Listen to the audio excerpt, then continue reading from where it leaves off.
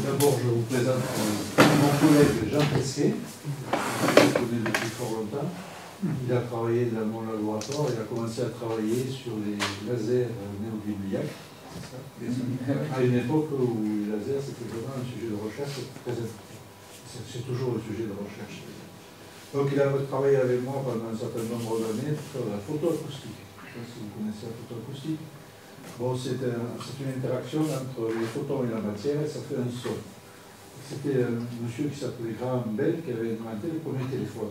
Mm. Le premier téléphone, bah, les banquiers, les conservateurs été contre lui. Le téléphone, à quoi ça sert Bon, vous voyez, ça, a quand même bien évolué. Et puis il y a eu la création de la Bell Laboratories, etc., qui a fait un travail extraordinaire.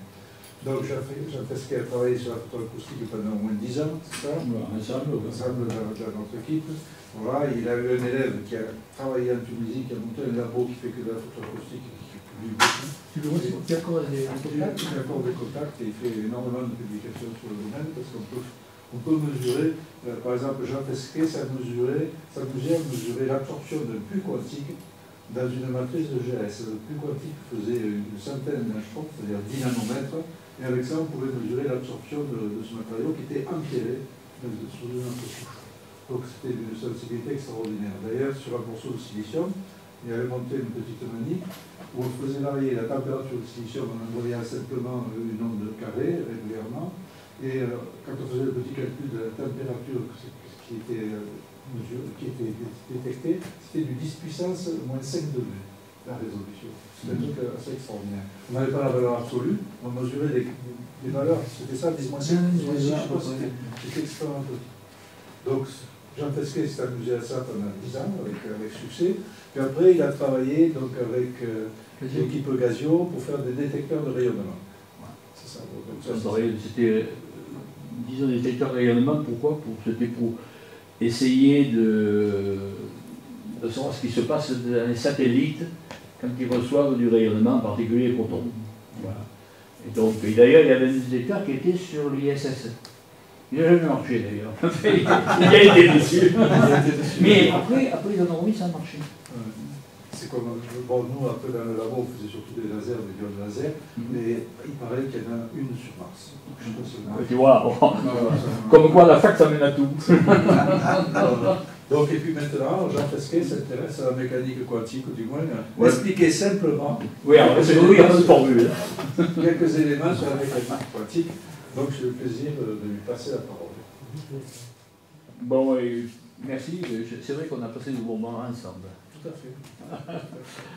euh, oui, je suis venu à ça tout simplement parce que un jour, j'étais pas dans le domaine. J'ai une formation d'opticien, je suis auto-électronicien, et euh, bon, je suis allé plutôt vers la partie, comme il vous a dit, dont, il vous a parlé, et en même temps se développer à, Paris le, des, recherches disons, qui ont conduit, on va en parler d'ailleurs, hein. et un jour j'ai voulu savoir ce que c'était qu'un qubit, mal expliqué, mal foutu, etc., je ne comprenais rien. Euh, ça m'a distrait, et j'ai tout repris, y compris les cours que je faisais à une époque sur la mécanique quantique, j'ai tout repris. Et finalement, j'arrivais quand même un peu à comprendre. Et ça m'a intéressé, je me suis dit, tiens, pourquoi pas me faire profiter. D'ailleurs, euh, au labo, euh, euh, il s'appelle Toul, qui est décédé, le pauvre, qui était un, de mes élèves, disons, m'avait demandé comment Vous l'avez connu Bah oui. J'ai voulu le père et le fils. Et le fils, euh, justement, j'ai travaillé avec lui, ça m'a fait. J'avoue que j'ai fait un coup. Euh, il m'avait demandé de m'intéresser sur un projet où on pouvait se faufiler justement sur les qubits. Et donc, j'allais au labo, c'était très agréable, même euh, à la retraite, de pouvoir continuer à être un peu utile. Voilà. Ben, écoutez, je vous remercie d'avoir donné une réponse favorable à notre proposition de conférence les révolutions quantiques de l'atome à l'ordinateur quantique. Reste au programme et vous restreindre. Euh, ça va être l'occasion, justement, ça tombe pique, ça va être l'occasion de rendre hommage à un physicien que j'estime depuis de nombreuses années, c'est-à-dire à Alain Aspect qui vient d'avoir le prix Nobel. Alors, Merci. Euh, il faut savoir, alors, cette conférence, c'est pour vous donner les notions élémentaires qui vous permettent de comprendre ce qu'est la cryptographie quantique et l'ordinateur quantique. Et surtout d'en apprécier les propriétés. La plupart des gens parlent de ça, ils parlent pour rien dire parce qu'ils ne connaissent pas les règles. Qu'est-ce que c'est qu'un qubit, etc. Donc le but de si à la sortie vous me dites ouais, finalement je vois, je serai content. Suivant. Alors, s'il y a parmi vous des gens qui ne sont pas des scientifiques, ils peuvent se poser la question pourquoi on a inventé la mécanique quantique? Ben, Moi, je dis simplement à mes étudiants je dis que tu ne vas pas se casser la tête. L'atome, ça ne devrait pas exister. Parce que la physique classique, qu'est-ce qu'elle nous dit? Un atome, ce sont des électrons qui, la quantique nous a dit après, qui gravitent autour d'un noyau. Oui, mais les électrons, c'est négatif, électriquement négatif. Le noyau est électriquement positif. Comment voulez-vous que des électrons euh, gravitent éternellement autour de nous? C'est pas possible. Il a donc fallu inventer une nouvelle physique. Voilà le point de départ. Alors, je dirais que c'est la physique, la, mécanique quantique, c'est, ou physique quantique, c'est la hein. c'est euh, la physique du monde atomique. Voilà. Alors, allez-y, le suivant. Voilà. C'est une, alors, première chose, il faut savoir que ce n'est pas l'œuvre d'un seul bonhomme. Il n'y a pas un Newton de la physique quantique. Non, c'est une œuvre commune. J'adore, tout le monde, tous les physiciens aiment cette photo. Euh, parce qu'elle date du début du, siècle et pose là-dessus les principaux. Euh, alors vous avez le premier par qui tout a commencé, c'est Planck. C'est le travail de Planck qui est à l'origine, je dirais, du développement de la mécanique quantique. Ça, il ne faut jamais l'oublier. Ensuite, allez-y, vous reconnaissez les noms, Dirac, Schrödinger, De Broglie, Pauli, Heisenberg, Bord, etc. Mais vous en avez deux, suivant. Bord et suivant, Einstein. qui eux ont joué un rôle sur lequel nous allons revenir. Alors il faut savoir que Einstein n'a jamais eu le prix Nobel pour la relativité. Les gens ne croyaient pas trop. Il a eu le prix Nobel pour sa contribution essentielle à l'élaboration de la mécanique quantique. C'est pas moi qui le dis, c'est Planck. On peut lui faire confiance. Alors, suivant. Donc, première révolution quantique, ça va, la première révolution quantique, c'est 1900-1980. On va voir pourquoi 1980. Vous allez voir pourquoi. Alors, les travaux de Planck, Einstein, allez-y, Bohr et, et tous les autres, allez-y, ont donné, euh, disons, ont permis d'introduire une notion qui n'existe pas en physique classique, vous n'avez jamais entendu parler, c'est la notion de quantification. Alors, quantification de quoi? De l'énergie des atomes, d'où Bohr, c'est le premier qui a proposé un modèle, je ne vais pas y venir dessus. Et quantification de l'énergie de rayonnement. Le photon. Ça, c'était nouveau. Allez-y. Le photon, qu'est-ce que c'est? Ben, Vous n'avez qu'à retenir que c'est l'intermédiaire dans les échanges d'énergie entre l'atome et les rayonnements. Je ne dis pas que le visible. Dans les rayonnements, vous avez tous les rayonnements électromagnétiques. L'infrarouge, les radiofréquences, l'infrarouge, le visible, les rayons X et gamma, etc. Et vous voyez que je vais très vite.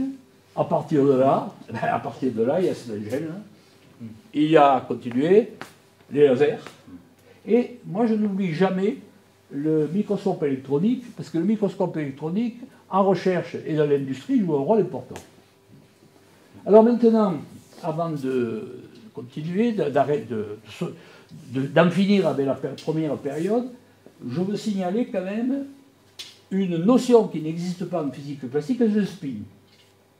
Alors, le spin a été découvert indirectement par Steiner Gerlach et il a été théorisé, je dirais, par toute une série de physiciens, dont le plus important, celui qui est le plus connu, c'est Pauli. Alors, qu'est-ce que je peux dire du spin? Le spin, vous allez retenir qu'une chose. C'est parce que les particules possèdent un spin que certaines d'entre elles se comportent comme des aimants. C'est tout. Alors, soit, alors si vous prenez euh, une particule qui peut se comporter comme un aimant du fait qu'elle a un spin, parce que le photon, il a un spin, mais ce n'est pas un aimant. Hein. Donc, si un électron, par exemple, vous le placez dans un champ magnétique vertical, certaines de ces aimants s'orientent vers le haut, d'autres vers le bas. Alors qu'est-ce qu'on peut dire?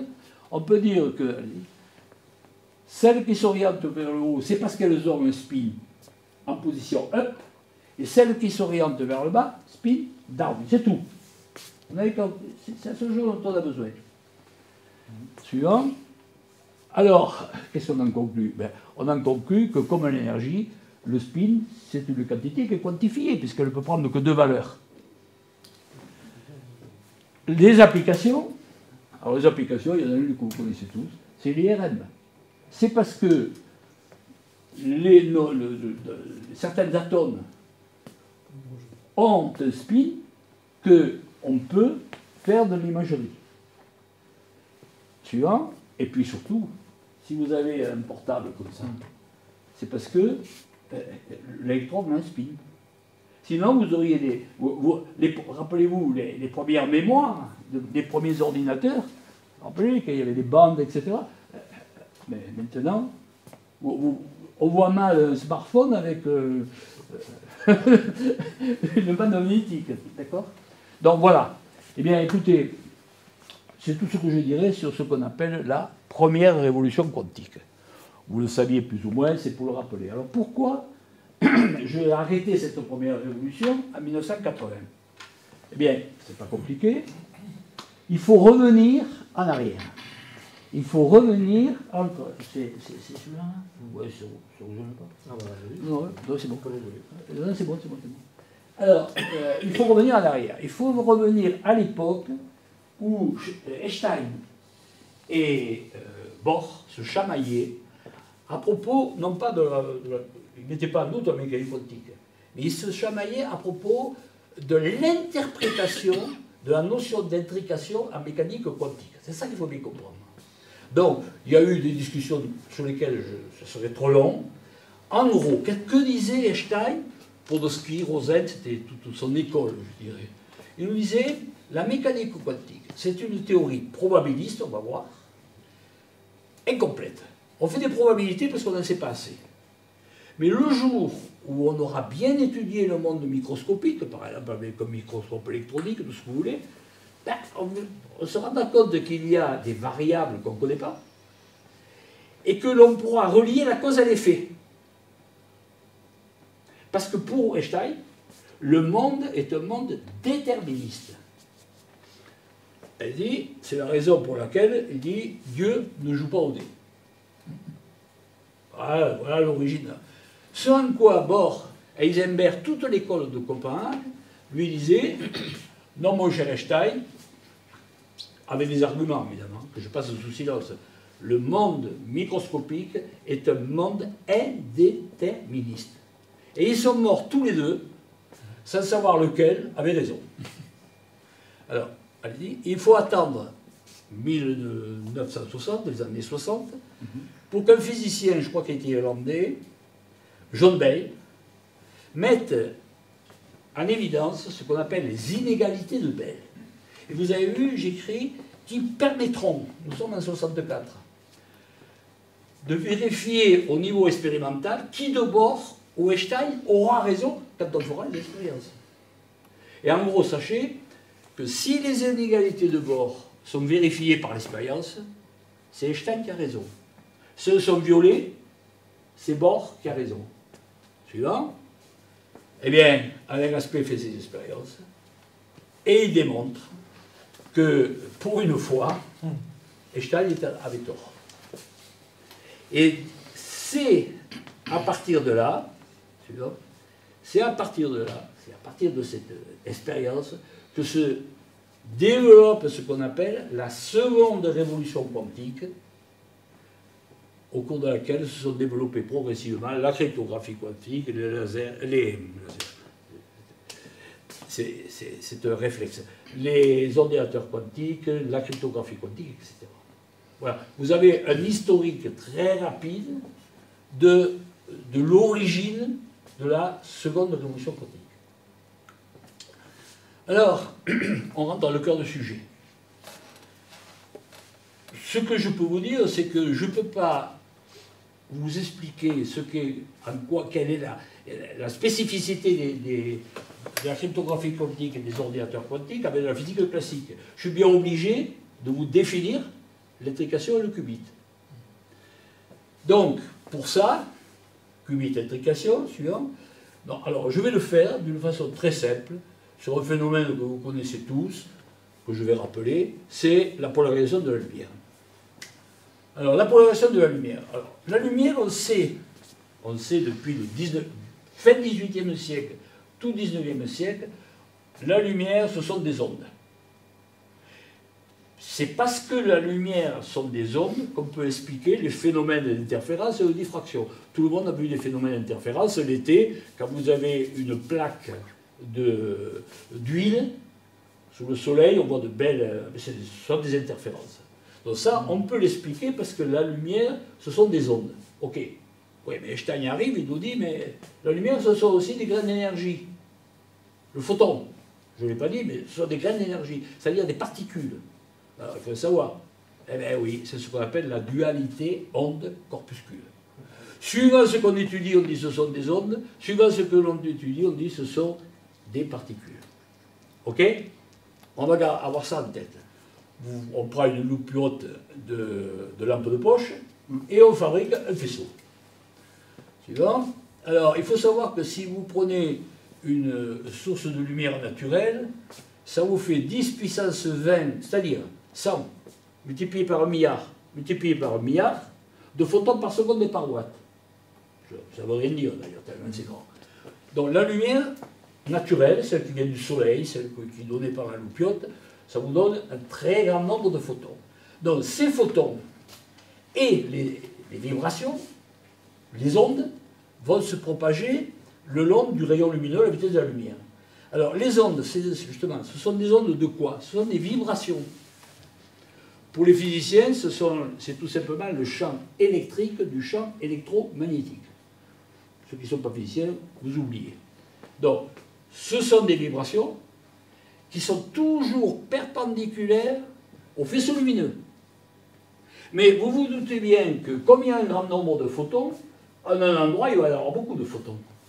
À chaque photon, vous associez une vibration, imaginons, elle n'est pas nécessaire, elle est toujours perpendiculaire, donc dans le même plan, mais pas nécessairement dans la même direction. D'accord? C'est ce qu'on appelle la lumière naturelle. Alors, suivant. Si ça vous gêne, ça, pensez à la guitare. Hein. Quand vous jouez de la guitare ou du piano, ben, vous créez des vibrations perpendiculaires à la corde. Et la vibration se propage le long de la corde. Donc, ce qui arrive dans le sonore peut être extrapolé pour les rayonnements électromagnétiques. Voilà. Retenez que ça, ça nous suffit. Alors maintenant, on va étudier un peu ce qui se passe. En, reproduisant le truc, ça c'est pas bien caché, mais c'est pas grave. Euh, donc, pour l'étudier, on va utiliser cette espèce de, cube là. En fait, ce sont deux prismes, ceux de la calcite, convenablement taillés, de telle façon que quand la lumière arrive sur ces prismes, une partie passe direct, l'autre passe sur la gauche. Voie 1, voie 2. Alors je vous signale d'ailleurs que les physiciens en physique classique justifient ces voies. Euh, les, ceux qui ont, suivi des cours d'optique, on leur expliqué comment, les, comment ça se passait dans un cristal. Donc ça, on sait le faire. Il est bien sa tête. Il n'y a rien de nouveau là. Alors allons-y. Maintenant, euh, suivant. Euh, oula, ça déconne là. Alors, euh, donc vous avez la voie 1. Alors ce qui va se passer, ce qui va se passer, c'est que, je m'excuse, on, aurait dû le regarder, c'est pas grave. Ce qui, la, lumière arrive dans toutes elle est polarisée, il y a des vibrations dans toutes les directions parce que chaque photon, peut y avoir une vibration. Ça vous va Là, on s'aperçoit que la lumière, on a les moyens de le vérifier, je passe sous silence, la lumière qui passe, les photons qui traversent par la voie 1, eux, ils ne sont polarisés qu'horizontalement. Et les photons qui passent par la voie 2 ne sont polarisés que verticalement. Les sont bloqués. Comment? Et tous les os sont bloqués. Ah I don't know. Je ne sais pas. Moi, le physicien, vous savez, il observe et puis il ne sait pas. En principe, non. Alors la réponse non, on peut dire que en principe, euh, suivant, vous allez voir. Ce qu'on peut dire en principe, c'est que le, le- le- le polariseur filtre deux directions de polarisation, dont une voie horizontale. Alors je la note, vous voyez, un trait, une espèce de. Et ici, horizontale. Alors ceux qui ont fait un peu de mécanique quantique, c'est une notation de Dirac, on appelle ça. Ben, on s'en fout, ce soir on n'a rien à faire. Donc, polarisation horizontale, flèche horizontale, polarisation verticale, flèche verticale. Donc, flèche horizontale affectée ici, flèche verticale affectée ici.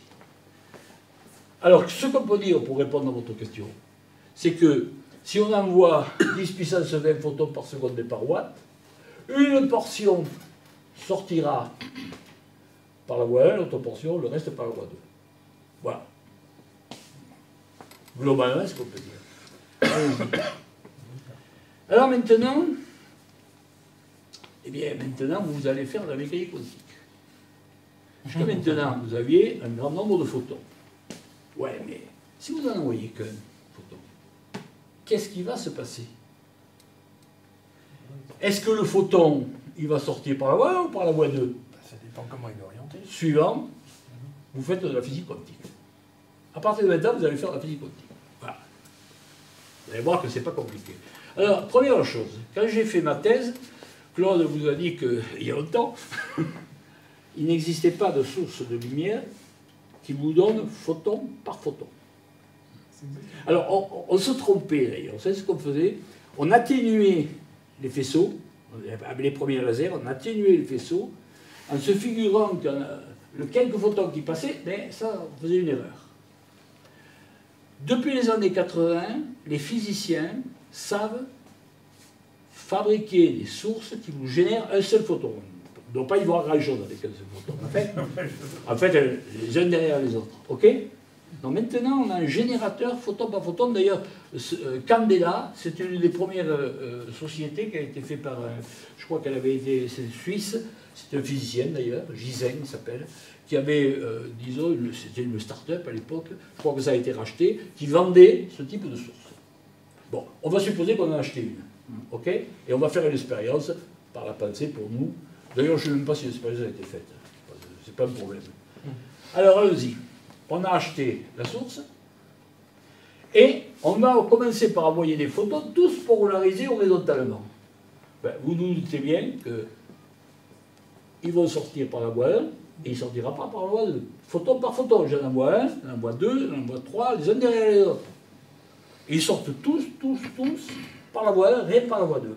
Suivant, là, vous avez compris. Cette fois-ci, nos braves photons, ils sortent par la voie 2, pas par la 1. Ok? Jusque-là, ça va? Continuons. On appelle ça les états propres, je dirais, de polarisation. C'est-à-dire, euh, c'est- le, c'est la calcite, c'est le, le biprisme qui les impose. Important, c'est toujours la manite qui impose les états propres. Tu vois? Ah Et c'est là, ne dites pas que vous allez rien comprendre, parce qu'il suffit de regarder ce qui se passe. Qu'est-ce qui se passe si au lieu d'envoyer un photon polarisé horizontalement ou verticalement, je l'envoie polarisé à 45 degrés? Pas où il va passer. C'était ma question tout à l'heure. Ah oui, mais pour un. Eh bien oui. Eh bien oui. Alors faites l'expérience. Eh bien, Le problème, c'est que la détection. tantôt il passe d'un côté, tantôt il passe de l'autre. Ouais. C'est exactement la même situation que quand vous prenez une pièce et vous jouez à pile ou face. Ah ouais. Et là, je vous demande de réfléchir cinq minutes. Einstein, Bohr. Si, quand, quand vous lancez une pièce, vous lancez une pièce, euh, ouais, un match de rugby, l'arbitre il arrive, il lance la pièce, bouf, il y a de l'air, etc. Il est impossible de savoir si la pièce va tomber ou face, vous êtes d'accord Mais imaginez que vous lancez la pièce dans le vide. Il n'y a pas l'air. Donc déjà, il n'y aura pas d'interaction avec les molécules. Vous êtes d'accord En plus, maintenant on sait le faire, si vous lancez la pièce en f- filmant la direction dans laquelle vous la lancez et sa vitesse, ben, vous n'avez qu'à prendre un cours de mécanique plastique que vous avez étudié, Et vous saurez si elle tombe sur pile surface. C'est déterministe. C'est ça qu'il faut bien avoir en tête. Mais là, le photon, je peux vous expliquer pourquoi il y a une voie 1 et une voie 2, mais je suis incapable de vous dire pourquoi il a pris la voie 1 ou pourquoi il a pris la voie 2. Et puis c'est ça la mécanique quantique. On ne sait pas. On ne sait pas. Donc on ne peut faire que des statistiques. La physique quantique nous permet de faire des statistiques. Parce qu'on ne sait pas ce qui se passe. C'est ça qu'il faut bien avoir en tête. Suivant. Alors, maintenant je fais l'expérience, je m'aperçois que 50% des cas, le photon sort par la voie 1, 50% des cas, il sort par la voie 2. 50 plus 50%, ça fait 100%. 0,5 plus 0,5, ça fait 1. D'accord? Bien. Alors je me dis, mais nom de chien, et si je prends un autre angle Alors, θ, ça ne vous surprend pas, hein, c'est les lettres grecques, on appelle θ, je peux appeler fesqué si vous voulez. Donc je prends θ, égale, suivant, 30 degrés. Pourquoi pas? Je fais l'expérience, je m'aperçois qu'il y a cette fois-ci 25% des cas voie 1, 75% des cas voie 2. C'est bien, c'est bien. 0,25 plus 0,75, ok? C'est bon. Suivant. Ah 0. 30, 45, 60, c'est symétrique. Ben évidemment, j'ai inversé. Au lieu de 25, 75, et au lieu de 75, j'ai. Et puis vous pouvez prendre toutes les valeurs d'angle possibles et imaginables. Allez, suivant.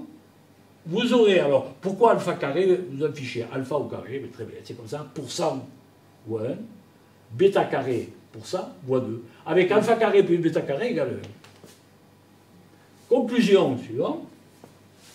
Eh bien, alpha au carré, c'est la probabilité d'observer l'état pour la horizontale. Bêta carré, c'est la probabilité. C'est ce qu'on peut dire. Ça ne paraît pas idiot. Je pense que c'est pas compliqué ça. Et, on regarde, on est modeste, le physicien il est modeste, il voit des phénomènes, il ne sait pas, il essaie d'interpréter, il se débrouille. Suivant. Ah, conclusion, quand les physiciens doivent observer le comportement d'un seul photon, lors de la traversée du prime, ils sont incapables de prédire si le photon sortira par la voie ou par le Je vous l'ai dit tout à l'heure. Mais ça, on ne sait pas. Suivant. Donc, ils ne peuvent faire que des statistiques. Suivant. La mécanique quantique est une théorie probabiliste. Suivant. Un ordinateur quantique ne donnera que des résultats statistiques. C'est bien merdant ça. Imaginez que j'appelle ma banque qui a acheté un ordinateur quantique. Alors, d'abord, maintenant, quand vous l'appelez, M. Fesquet, euh, je l'appelle ou je fais Internet, peu importe, elle va me dire, Monsieur Pesquet, vous avez mis le 234 euros sur votre compte. Va bien, je peux aller faire, avec Claude, on peut aller faire un bon. Mais si c'est un ordinateur quantique, qu'est-ce qu'il va me dire? Monsieur Fesquet, vous avez 98, 95, je ne sais rien, pour cent de chance d'avoir mis le 234 euros. Vous voyez la différence Donc dites-vous bien que les ordinateurs quantiques ne rempliront pas les fonctions des ordinateurs des autres ici. Donc les ordinateurs classiques ont de bonnes chances de continuer. Et les, gens les journalistes qui racontent des conneries, laissez-les parler, mais vous, vous savez qu'un ordinateur quantique vous donnera des renseignements spécifiques, je dirais. Ce sera pour des utilisations spécifiques. Je vais vous montrer comment. Alors maintenant, oubliez ce que je vous ai, dit, vous ai dit, et mettez-vous dans le cas où vous envoyez des photons polarisés dans une direction, mais vous ne savez pas que votre état. Vous ne savez pas si c'est zéro, vous ne savez pas. Allez-y. Donc vous envoyez. Suivant. Alors, moi je ne suis pas trop intelligent, vous non plus, on fait appel à quelqu'un d'intelligent. Qu'est-ce qu'il peut nous dire? D'après ce que vous m'avez dit, ce que je suis sûr, c'est que le photon, il n'est pas polarisé dans le premier cas horizontalement, euh, verticalement, puisqu'il ne peut être horizontal. Et dans le second cas, il ne peut pas être polarisé horizontalement. Donc il est ou vertical ou oblique. Tout ce qu'il peut vous dire. Suivant. D'accord? Je sais pas. Suivant. Il n'est pas le seul. Vous aussi, vous êtes. euh, Moi aussi, d'ailleurs. Suivant Eh bien, voilà. Un prix Nobel qui s'appelait Schrödinger, il était bien bêté. Et il nous a inventé ce fameux chat, ce, ce fameux matou. Alors, je ne vais pas. Vous avez qu'à aller sur Internet, là, vous avez. Des sites, il y en a. hein. Moi, je vais vous dire une seule chose, pour faire vite. Que nous dit Schrödinger? Il nous dit voilà, je suis dans la situation suivante. J'ai une boîte, il y a un chat. J'ouvre la boîte, il est mort. Je la ferme, je la rouvre, il est vivant. Il est mort ou vivant? Alors, il n'est pas mort ou vivant, parce que s'il est mort, ben, il est mort. Il sera toujours mort. Ou s'il est vivant, il sera toujours vivant. Non, non, non. Les physiciens ils disent il est mort et vivant. Ce qui est complètement idiot. Oui, mais c'est idiot De notre point de vue. pour notre monde. C'est idiot à notre échelle. Eh bien, vous allez prendre ça, euh, vous savez jouer à la belote, tout à tout sans atout. Ben, vous allez prendre ça comme une règle. Vous allez prendre ça comme une règle. C'est un principe fondamental sur lequel s'appuie la mécanique quantique suivant. C'est le principe de superposition qui nous dit finalement tous les physiciens, comme Colombo, doivent faire comme si comme si, avant la traversée du prime, le photon incident était à la fois et à la fois euh, polarisé horizontalement et polarisé verticalement. Voilà. Suivant. Ou encore que, pour faire plus savant, les deux états se superposent. État de polarisation horizontale et état de polarisation verticale. Suivant c'est le fameux principe de superposition de la mécanique quantique. Alors la seule formule est un hiéroglyphe pour moi. Voilà le hiéroglyphe, il nous dit que θ, suivant, état, l'état θ, est égal à alpha fois polarisation horizontale, plus bêta fois, je sais pas dans l'algèbre, hein, vous le prenez comme ça, c'est- c'est un langage. Polarisation verticale, suivant, ah, ben, ah oui, oui, ça s'est déplacé, ah, en fait, euh, j'avais mis euh, là, alpha, j'avais souligné, etc. Bon. Alors, vous voyez, le plus, c'est un et. Et alpha 2 plus bêta 2, euh, ça c'est décalé, mais c'est pas grave. Toujours, on a alpha 2 plus bêta 2, les probabilités. Quand vous voyez écrit ça, c'est le principe de superposition sur lequel s'appuie tout ce que je vais vous raconter. Suivant. Attention. Une fois que le photon il est sorti par la voie 1, vous dites qu'il est polarisé horizontalement, par la voie 2, il est po- mais vous ne savez pas ce qui se passe avant. Vous savez N'oubliez jamais que la mesure détruit l'état. Fixe l'état. Comment? Fixe l'état. L'état. Ah Vous allez voir tout à l'heure qu'on peut jouer avec ça. Alors, continuons. Oui, bah, si ça vous gêne, si vous êtes en train de dire. Bizarre son truc, hein Parce que est-ce qu'il n'a pas pris un coup dans le nez pour nous raconter tout ça ou quoi? Ben non. Allez-y. Si vous croyez comprendre la mécanique quantique, c'est que vous ne la comprenez pas. C'est Niels Bohr qui le dit. Prix bon, non. Non. Tout à l'heure, j'ai discuté avec certains d'entre vous, j'ai dit, moi, je vais, vous, je vais vous donner des règles qui ne dépassent pas le jeu de la belote. Une règle. Prenez-le comme une règle. Et si vous voulez vous torturer, attendez demain. Avec euh, le père de notre ami Passon Pierre, qui était mon prof, on a passé des bonnes heures à discuter. euh, toutes les générations d'étudiants ont discuté les principes. Parce que il n'y a rien à comprendre. et ça marche. Et ça marche puisque, en dépit de ces règles qui paraissent farfelues, eh bien, la mécanique quantique, elle marche, elle fonctionne. Vous avez des ordinateurs. Vous voulez ou vous ne voulez pas? Suivant. Alors, qu'est-ce que c'est qu'un qubit? Eh bien, dites-vous que tout système quantique, un électron, un photon, etc., qui ne peut être mesuré on a mesuré le photon, il sort par la voie 1, soit il sort par 2. Que dans deux étapes propres, eh bien, c'est un qubit. Alors, on a vu suivant, le photon, il peut avoir deux états de polarisation, suivant. Vous n'avez qu'à dire que polarisation horizontale, c'est 0. Polarisation verticale, c'est 1. Vous allez vite. Alors, un autre exemple. Alors évidemment, vous dites état, état, ce que je de vous raconter. Suivant. Ben, vous n'avez qu'à prendre un électron avec, avec le. Eh oui, le spin. Vous avez qu'à dire, suivant, le état, ça c'est un 0, ça c'est un 1, et vous direz S égale alpha fois 0 plus bêta, etc. C'est aussi un qubit. Suivant. Alors attention. Vous remarquez, vous allez me dire, oui, oh, c'est 0 1. C'est comme les bits. Ben oui. Un qubit, après la mesure, c'est comme un bit.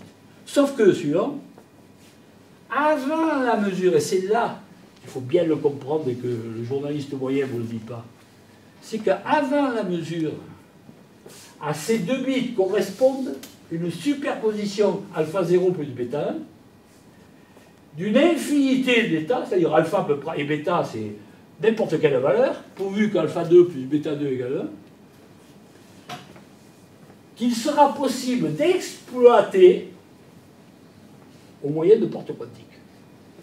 Capito? C'est ça. L'intérêt, si vous voulez, de l'ordinateur quantique, c'est ce qui se passe avec comme mesure. Alors maintenant, vous avez, il y en a beaucoup qubits, il faut y aller. Allez-y, suivant, et vous voyez, tous les laboratoires du monde entier, toutes les grandes industries consacrent des milliards à étudier quel sera le bon qubit. Alors je ne vais pas m'étendre là-dessus, vous en doutez. Je vous signale quand même deux choses suivantes. Ben, cela, ce qu'on appelle les qubits supraconducteurs. Je ne vous les décris pas, c'est assez subtil. Simplement, je tiens à vous dire que c'est Serge Haroche, prix Nobel de physique, professeur au Collège de France, qui est à l'origine. C'est quand même un cocorico. Ah, les Français, on se tape sur la tête, mais on est bon. Suivant. Alors, les qubits de cette catégorie, c'est-à-dire les qubits de spin en technologie CMOS. Alors je vais vous dire, cela ils sont intéressés et intéressants pour les industriels. Pourquoi? Parce qu'ils s'avèrent que ce sont, vous savez ce que c'est souvent, euh, la plupart d'entre vous savent ce que c'est qu'un CMOS. Dans un transistor, ce sont les courants qui vous intéressent, drain, etc. Dans le cas d'un CMOS pour être un qubit, on ajoute deux boîtes quantiques. Dessous les... Je n'ai pas fait les schémas parce que ça va être trop long. Ces boîtes quantiques emprisonnent des électrons qui peuvent prendre les positions spin-up, spin-down. Et on fait joujou avec ça. Donc, un qubit euh, en technologie CMOS, c'est un gros avantage si on arrive à bien le faire fonctionner, parce que le CEA à Grenoble met beaucoup d'argent là-dessus. Hein. Si ça vous intéresse, vous allez sur Internet, vous verrez. Euh, pour l'instant, ça marche, mais euh, c'est la recherche. Mais si on arrive à avoir quelque chose de compétitif, ben on sait les fabriquer. Donc les industriels sont contents. On n'aura pas tout à tout refaire.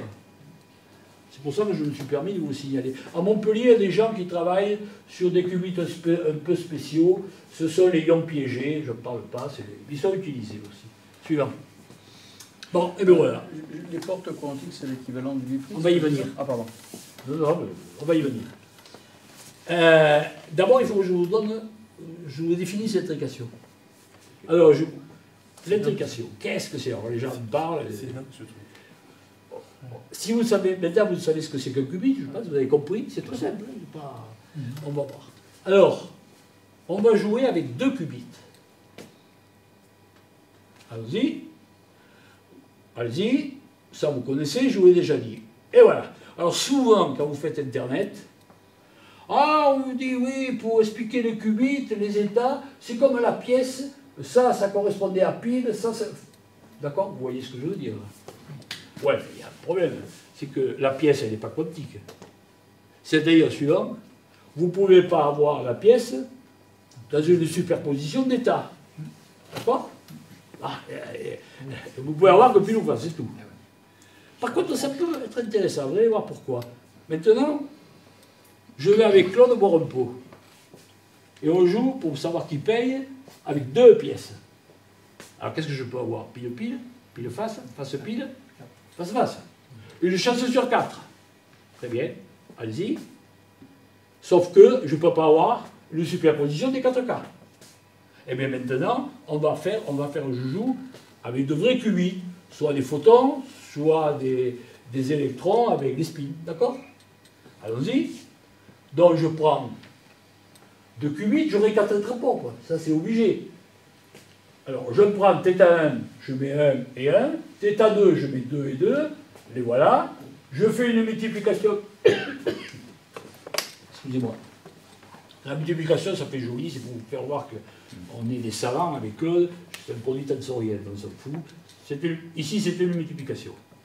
Donc, je fais la multiplication. C'est-à-dire, je multiplie ça par ça. Vous avez des enfants en 6e, 5e ou 4e, je ne sais rien, ils savent le faire. Enfin, ils devraient. Continuons. Donc, vous multipliez. Ça ne vous choque pas Vous avez le, pr- le- le premier, alpha 1, alpha 2, horizontal, horizontal, alpha 1, bêta 2, horizontal, vertical, etc. Mais vous voyez. Par contre, vous devez avoir le produit alpha 1, alpha 2 au carré, puis bêta 1, bêta, etc. au carré, le tout égal à 1. Une chance sur 4 pour chacun. Ou une combinaison. Très bien. On va regarder le cas particulier. On va regarder un cas, particulier, c'est le cas. Alors ça, c'est ce, produit est factorisable puisque c'est le produit de deux facteurs. Mais on va regarder un cas particulier où c'est pas possible. Allez-y, suivant. C'est-à-dire le cas où j'ai alpha 1, alpha 2, le, premier terme et le dernier terme égal à 1 sur racine de 2. Ok? Oui, mais 1 sur racine de 2 au carré, ça fait combien? C'est 4%. Donc on est dans le cas, probabilité 50%. D'accord? Et, continuez, les deux termes du milieu, 0. Pourquoi pas? Mathématiquement, je peux toujours imaginer qu'il y a ce cas. Allez-y, vous aurez ça. Pourquoi pas?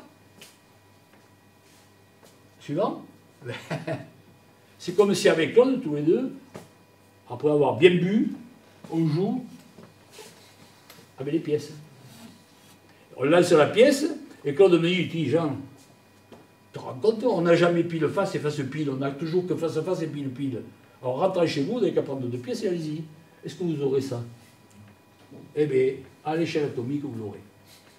C'est ça l'intrication. C'est ça l'intrication. C'est un cas qui est impossible d'avoir à notre échelle, mais qui est possible à l'échelle atomique. Alors, suivant. Alors, j'ai pris le cas pile pile pile face, mais c'est vrai aussi si les deux, le premier et le dernier terme est égal à 0, et ce sont les termes du milieu qui sont égaux à 1 sur racine de 2. À ce moment-là, je vais jouer, j'aurai toujours pile face ou face pile, mais jamais pile pile ou face face. C'est ça l'intrication. Avouez que c'est bizarre. Vous comprenez que Einstein et Bohr se soient posé des questions quand même. Suivant. Alors, on va l'illustrer. On va l'illustrer à partir d'une expérience qui a été réalisée pour les Chinois. Alors, ces braves Chinois, qu'est-ce qu'ils ont fait?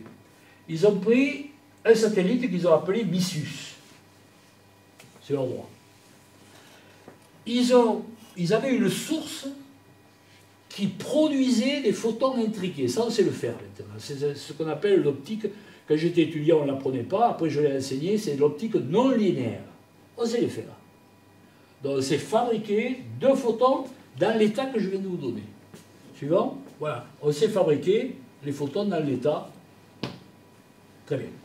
Alors, on envoie un photon à une citoyenne qui s'appelle Alice, qui est à Vienne, et l'autre à Bob, qui est à Pékin. Alors, juste si vous permettez, pourquoi Pékin, pourquoi Pékin et Vienne Eh bien, le patron chinois de ce programme a fait sa thèse à Vienne avec Zellinger, qui a eu le prix Nobel avec. euh, il a fait sa thèse à Vienne. Seulement, euh, en Europe, il Zellinger avait fait le tour de tous les labos, personne ne l'a aidé, etc. Finalement, il se retrouve qu'il a été comme euh, il travaille, a travaillé pour les Chinois. Donc, vous voyez, c'est parti de l'Europe quand même. Donc, les Chinois ont réalisé cette, expé- ce- cette expérience de la façon suivante. Allez-y. Voilà. On envoie un photon, un à Vienne, l'autre, il y a quand même 7 ou 6 000 km, non, ou 7 000, je ne sais rien. Alors, tu vois, ben, ils ont chacun un photon. Oui, mais le photon d'Alice est dans le même état. Elle n'a pas le photon de, Il y en a un chez Bob, euh, mais ils sont dans le même état. Suivant. Alors, si les pôles. Les, alors, ils ont des, des- chacun le biprisme dont je vous ai parlé tout à l'heure, ils en ont chacun, et chacun, un à Vienne, l'autre à Pékin, va enregistrer. Alors il faut une condition pour qu'il y ait corrélation totale. Il faut que on soit sûr que les directions de polarisation dans les deux endroits simil- soient parallèles. Sinon, ça marche, mais avec une certaine probabilité. S'ils sont parallèles, c'est du 100%. Voilà. Vous allez, voir que ça a son importance. Bon, si donc ils sont dans- dans ces conditions, si Alice s'aperçoit que son photon sort par la voie 1, polarisé horizontalement, eh bien celui de Bob sort obligatoirement par la voie 1. S'il sort par la voie 2, celui de Bob sort par la voie 2. C'est comme ça. Suivant. Seul. Alors, euh, il faut savoir que chaque fois, on va, ils vont contrôler, on va appliquer les conditions de Bell pour savoir si vraiment c'est intriqué. Et sinon, les, les conditions, les inégalités de Bell sont respectées, on sait que c'est bon. Mais ce qui est important, c'est que seuls Alice et Bob sont concernés. Or, on peut pas, donc on ne peut pas. on- on- et oui, on, ne peut pas. Le, le- comment dirais-je Je Intercepter. cherche le mot, ça c'est l'âge. Intercepté. Intercepter. C'est ça. là. Vous allez voir, je vais vous, do- vous- vous donner une- des précisions. Donc, cette expérience, elle a marché. Bon, ce sont des, ce sont des c'est expérimental. Hein. Pas encore utilisé. Par contre, il existe, alors c'est notre, selon notre principe, il existe, on vend des systèmes de cryptographie quantique, mais c'est notre système, hein, c'est pas celui-là. Allons-y. Alors, attention, c'est pas un moyen de communication plus rapide que la vitesse de la lumière, je vous ai dit c'est instantané. Non, non, non. C'est pas un moyen de communication. On ne peut pas s'en servir comme moyen de communication. Pourquoi? Parce que sortir par la voie 1 ou sortir par la voie 2, c'est aléatoire. Vous ne pouvez, pas envoyer un message avec ça. Puisque vous gars, c'est aléatoire. Donc vous pouvez pas être sûr, vous avez 0. euh, première chose. Deuxièmement, elle dit, pour établir une clé commune, alors je vais vous voir, on va fabriquer une clé avec ça. Je vais vous, vous expliquer comment. Euh, ils doivent être sûrs, Alice et Bob, qu'ils opéraient dans les mêmes conditions. Donc qu'est-ce qu'ils vont faire? Ils vont prendre le téléphone et ils vont passer en revue tous les bits. Ils conviendront de savoir s'ils étaient même conditions ou pas même conditions. OK? Donc vous voyez, il ne peut pas y avoir, euh, on ne peut pas communiquer à une vitesse plus rapide que la vitesse de la lumière. Et ça, à un moment donné, je me souviens qu'il y a eu des conférences, y compris à la Fac des sciences, où des de Normal Sup qui étaient là-dessus, et ils se demandaient si, si, le principe, la vitesse de la lumière est une constante égale à c, si, on n'était pas en train d'être violé. Il y, a, eu des problèmes, c'est pas venu comme ça. Suivant. Alors, en conséquence, ils doivent, par téléphone, par ce que vous voulez, euh, correspondre par un moyen classique sur leurs conditions de fonctionnement. Suivant. Alors, je vous ai parlé de clés. Je vous rappelle très brièvement le principe de codage parquet public, comme ça, pour que ce soit clair pour vous. Vous avez un message, vous le numérisez. D'accord? Alors la clé, la clé, ce sont des nombres aléatoires. Un générateur de nombres aléatoires. Vous mélangez les bits aléatoires avec, mais il faut savoir comment vous les mélangez. Donc il faut avoir une clé pour, ce- pour celui qui va recevoir, il faut qu'il soit capable de le lire. C'est ça, d'accord? Vous mettez d'accord. Alors, et vous avez un message chiffré, etc. Allons-y. Alors, revenons à Alice et à Bob. Alice, suivant, elle veut écrire un message suivant à Bob. Qu'est-ce qu'elle fait? Suivant. Elle écrit son message. Elle a une clé qu'elle a fabriquée. Elle, avec sa clé, elle prend son message, elle le met dans une boîte, un cadenas et elle le ferme. Elle envoie à Bob. À condition qu'il n'y ait pas un espion qui, pique le. Mais pour ça, elle se méfie.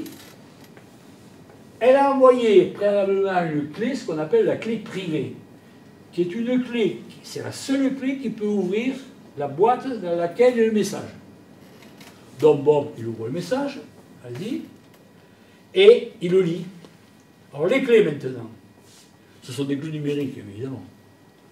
La clé d'Alice, c'est un nombre qui utilise le produit, alors c'est grand P égale petit p par petit q, où P est de grande taille, c'est 500 chiffres. Un nombre premier, c'est 500 chiffres. Si vous voulez. Ouais, pas facile.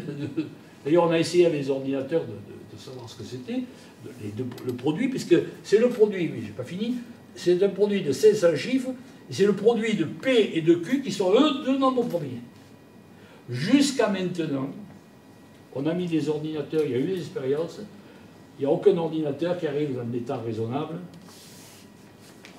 à effectuer cette opération. Alors, le produit de deux nombres premiers, c'est un nombre premier Comment Le produit de deux nombres premiers oui, oui, est un nombre premier. Comment Le produit de deux nombres premiers. Produit grand P, c'est le produit de deux nombres premiers. Mais grand P n'est pas un nombre premier. Non, non, non. non. D'ailleurs, je, vous dire, je peux le dire maintenant, le premier ordinateur quantique pour vérifier, on a utilisé expérimentalement un algorithme, que je vous en parlerai, qui est l'algorithme de Shor, pour voir si l'ordinateur quantique était capable de trouver les nombres. Il est arrivé. Vous savez quel nombre?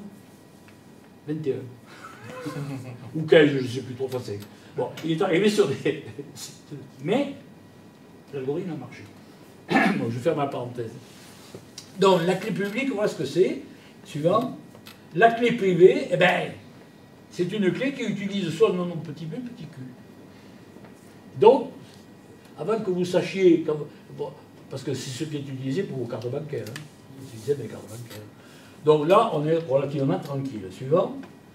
Il est encore impossible de déchiffrer avec des ordinateurs classiques la clé de codage, sauf s'il y a un mathématicien de génie qui le matin se lève et trouve un théorème où il peut trouver les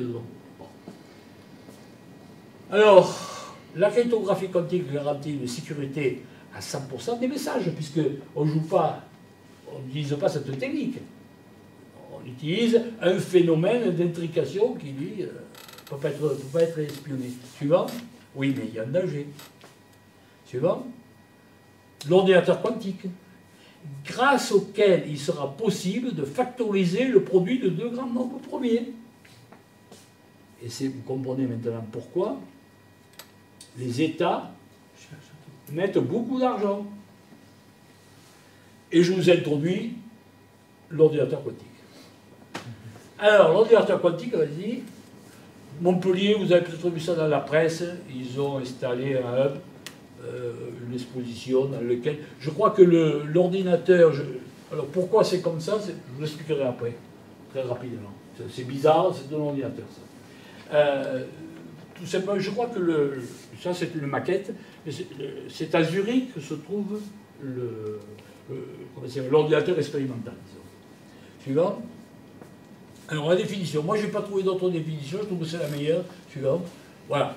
Un ordinateur quantique peut en théorie avoir accès à la totalité des résultats possibles d'un calcul en une seule étape, là où un ordinateur classique doit traiter l'information de façon séquentielle, ça vous le savez tous, hein, on fait des opérations les unes derrière les autres, c'est-à-dire un résultat après l'autre suivant.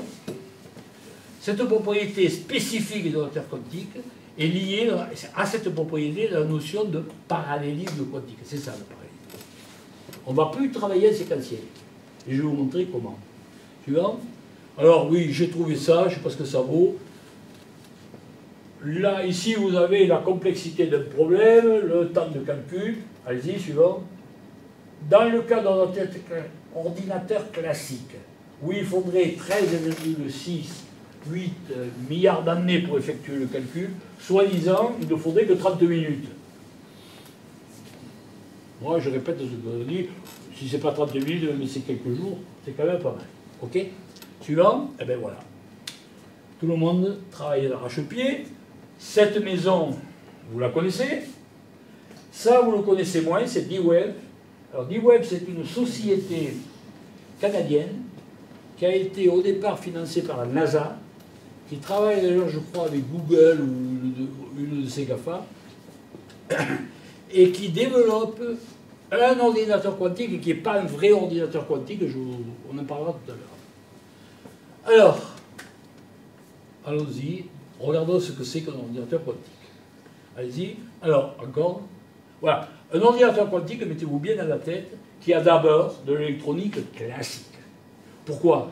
Parce qu'après, on va utiliser des qubits, mais ces qubits, eh, il, faut pour les faire fonctionner, envoyer de l'énergie, soit des spins que l'on fait euh, tourner, etc. Il y, a, il y a différentes méthodes. Donc, une partie électronique classique pour, euh, disons, faire fonctionner le tout. Suivant. Là, vous avez, j'ai souligné en rouge la partie purement quantique. Vous voyez qu'il y, a des- portes. On va y revenir dessus. Je vais expliquer ce que c'est qu'une porte.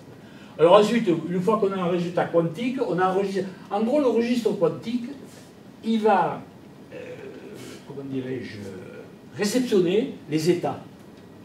Alpha horizontal et, ben, alpha 0 plus bêta. euh, voilà. Ensuite, ce registre, je ne rentre pas dans les détails. Le résultat, il faut le traduire. Alors ici, vous voyez ceci et ça, c'est un compteur. Parce que, je vous ai dit tout à l'heure, en quantique, on fait des statistiques. Donc, un compteur qui compte les résultats. C'est pour ça qu'on met ça. Donc, le résultat, il est, est envoyé, disons, sur de l'électronique classique. Après, tout ça, c'est tripatouillé pour le rendre comestible. OK? Et le tout est réfrigéré, alors, pas toujours. Mais dans le cas des ordinateurs, des qubits euh, Supra et les qubits CMOS dont je vous ai parlé, on travaille à pratiquement au zéro absolu. Donc il faut refroidir. Alors il paraîtrait, parce que je vois que vous vous hochez la tête, effectivement, il y a un problème d'énergie, parce que pour, pour refroidir, il faut. Mais il paraîtrait que ça coûterait moins d'énergie que nos systèmes actuels, qui en mangent pas mal d'ailleurs. Les, centraux, ils, ils sont gourmands. Bon, ça, je ne suis pas qualifié, je, je vous dis ce que j'ai entendu. Suivant. Alors, on arrive à ce que l'on appelle les, comment dirais-je, les portes quantiques. Vous voyez ici H. C'est une porte dite de Hadamard. Alors je vous explique ce que c'est. Ça n'a rien à voir avec les portes de l'électronique, hein, tout de suite. La porte de Hadamard. D'abord, c'est une porte à un qubit. Vous avez une entrée et une sortie. Donc, un qubit, je vous rappelle, c'est ça. hein. Allez-y. À l'entrée, on envoie un qubit dans l'état 0, c'est-à-dire que alpha égale 1 et ça égale 0. C'est-à-dire qu'on envoie, imaginez si on prend l'exemple du photon, on envoie un photon polarisé horizontalement. À la sortie, on va avoir 0 plus 1 sur racine de 2. Ben, C'est pas compliqué. Racine de 2 au carré, c'est 1 demi. 0, position horizontale. 1, position verticale. Suivant. Donc c'est ça que vous avez. Vous avez à 45 degrés. Donc, la porte de Hadamard va vous transformer un 0 en une combinaison de 0 et de 1. Suivant. Maintenant, une porte à deux qubits. C'est la porte C-note. C'est la base hein, du calcul quantique. Alors, la porte C-note, vous avez le schéma qui est ici, que j'ai reproduit ici. Suivant. Je préfère sous cette forme. Ça, c'est X, X, Y. Je vous dis c'est X parce qu'il a disparu, là, mais bon. Alors, supposons, suivant, que l'on envoie cet état, on l'envoie ici. C'est le premier qubit. Suivant. En bas, on envoie l'entrée. qubits en position 0. Ça vous va? Alors maintenant, à cette entrée correspondant à cette sortie, c'est la même chose.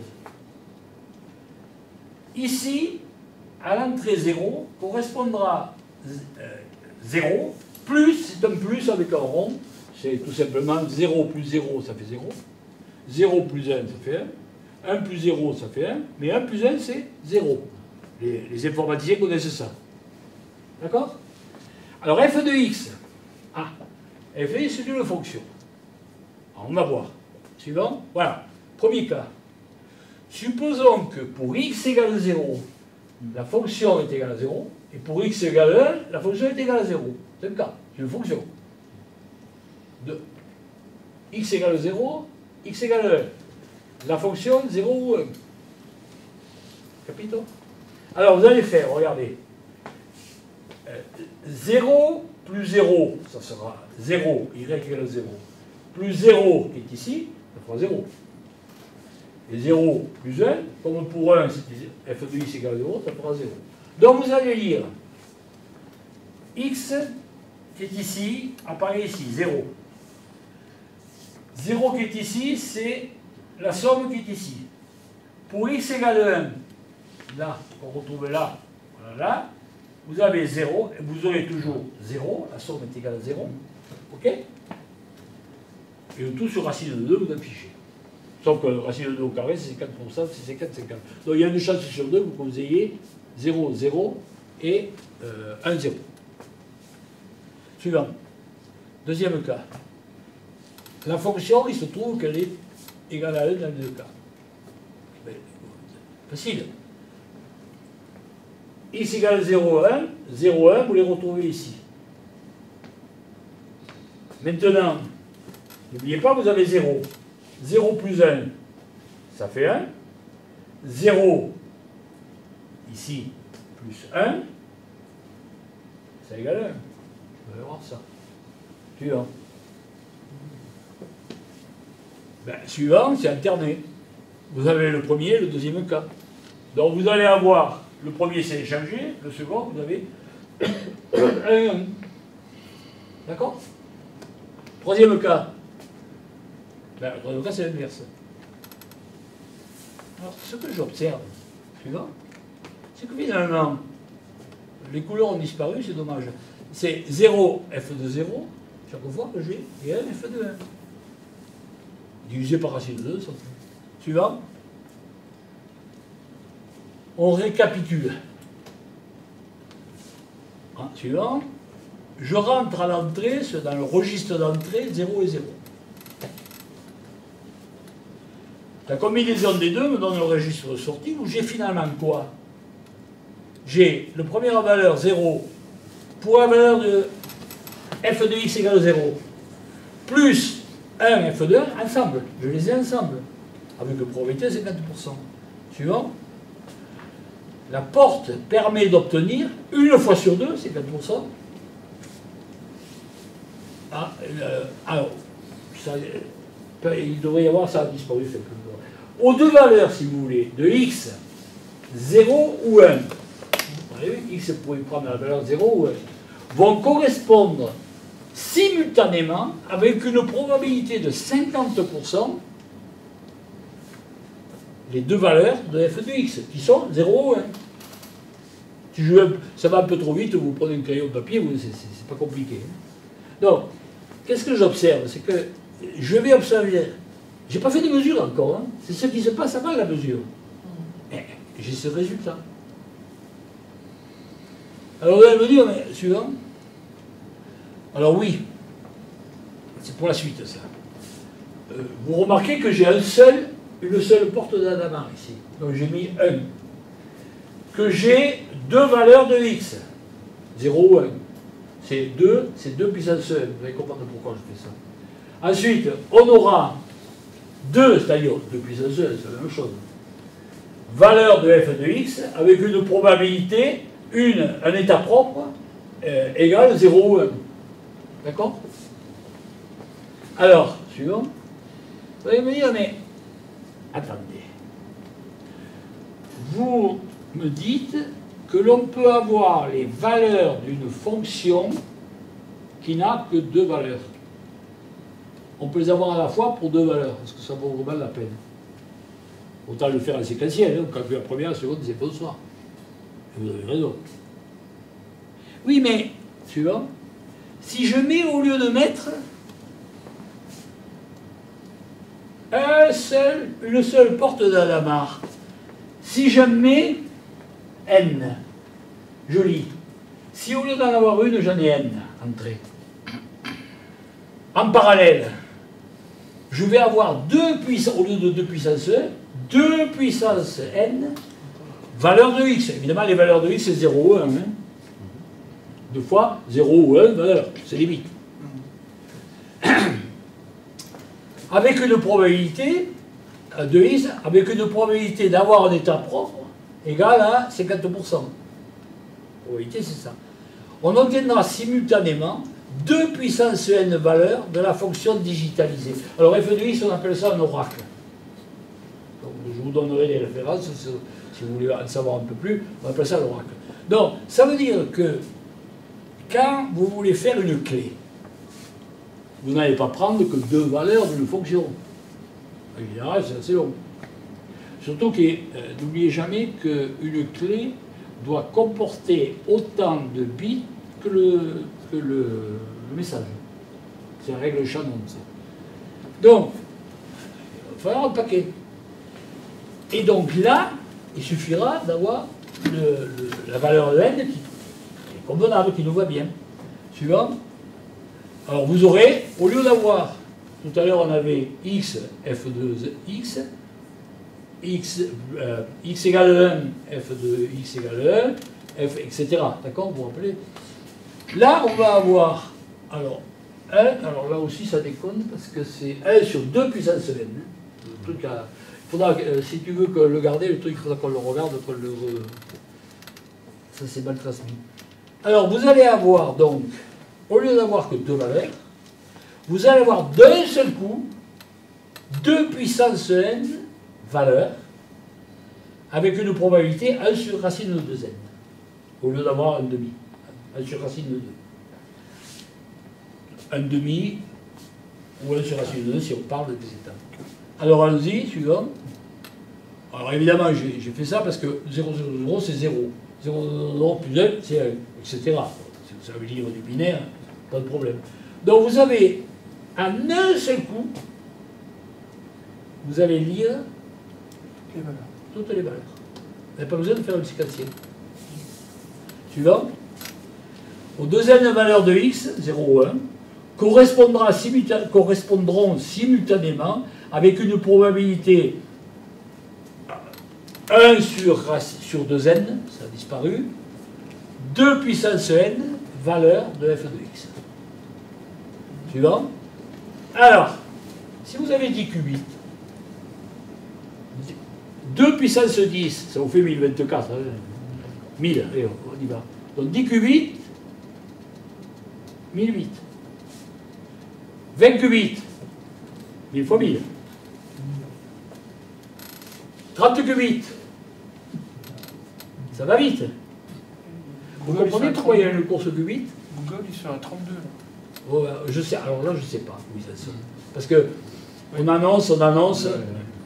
Personnellement, j'ai renoncé maintenant, hein, parce que ouais, c'est pas clair. Donc, vous voyez l'intérêt? Suivant. 20 qubits, là, un milliard de qubits, etc. Vous voyez l'intérêt de l'ordinateur quantique, c'est le parallélisme quantique. C'est que on sait, avec deux portes, alors évidemment, si on, si on a, au lieu de prendre deux, mais n portes, on peut avoir instantanément toutes les valeurs en bits, hein, toujours pareil, 0 ou 1 d'une fonction. Alors, c'est ça qui est le plus important. À partir du moment où vous avez compris ça, c'est la base. Je ne vais pas plus loin. Je vous dis à partir de maintenant, il y a des algorithmes. Alors vais vous dire, les algorithmes, il y en a trois. On n'en connaît pas d'autres. Alors il y a des variantes autour de ces trois. hein. Le premier algorithme, elle dit, c'est le Dutch Josar. Alors celui-là, j'ai tout redémontré. C'est un peu suant, mais j'y suis arrivé. Alors, celui-là, en gros, il sert à quoi? Ce, Cet algorithme, il vous donnera comme il vous permettra de savoir si vous avez affaire à une fonction constante, soit elle est égale à 0, soit elle est égale à 1, suivant, ou alternée. C'est pour ça que les journalistes vous disent ça permet de savoir si une pièce de monnaie elle est juste ou fausse, ce qui est complètement idiot.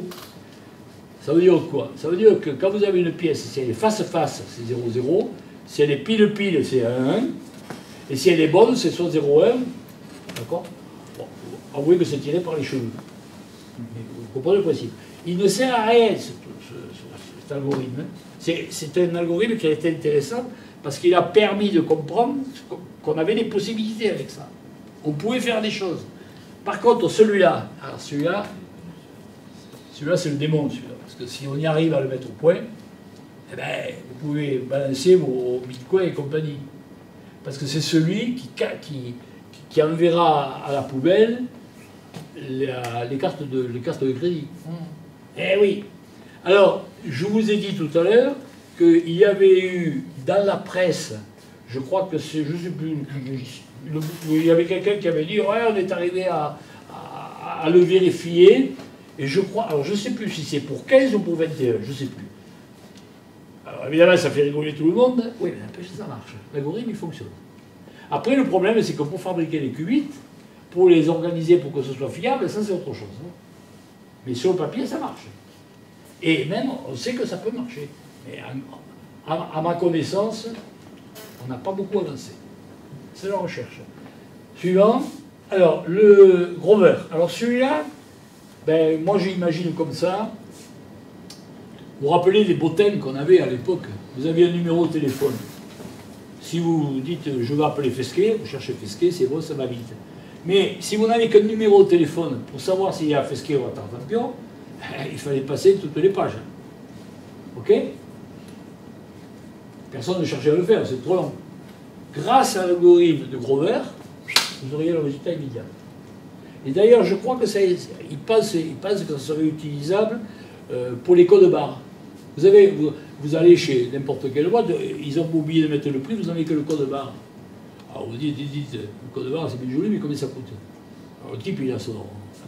Là, il n'aurait pas besoin de chercher deux heures, il suffirait qu'il aurait d'un coup le résultat. Donc cet algorithme de Grover aussi est au point. Après, il y a toute une série d'algorithmes tout autour qui sont voisins pour des spécificités, etc. J'avoue que je ne me suis pas penché sur ce problème. En tout cas, vous devez vous douter que euh, c'est une informatique qui n'a rien à voir avec notre informatique. C'est un autre monde. Suivant. Alors maintenant, euh, c'est pas parfait. Premier, premier problème, c'est ce qu'on appelle la décohérence. Suivant. Alors, il y a décohérence quantique lorsque l'influence du milieu extérieur, devenant trop importante, les principes, bien, les principes de la physique quantique ne sont plus valables. C'est-à-dire qu'en fait, c'est comme la pièce de monnaie. Avec une pièce de monnaie, vous ne pouvez, pas avoir le principe de superposition. Eh bien, vous avez, euh, je ne sais pas moi, un spin, par exemple, une particule, vous vous l'utilisez toute seule, vous avez un qubit, vous en mettez deux, ça marche, ben, puis à un moment donné, à un moment donné, ça ne marche plus parce que c'est comme si vous aviez des pièces. Le milieu extérieur devient trop important. Ça devient macroscopique, c'est plus microscopique.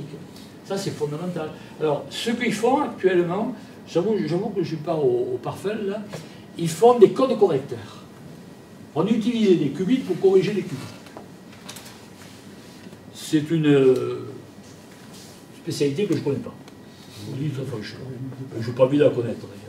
Alors, l'augmentation du nombre de qubits qu'utilise un calculateur quantique est destinée à optimiser et faire une performance. Vous comprenez pourquoi? Deux puissance n, on a intérêt à en avoir beaucoup.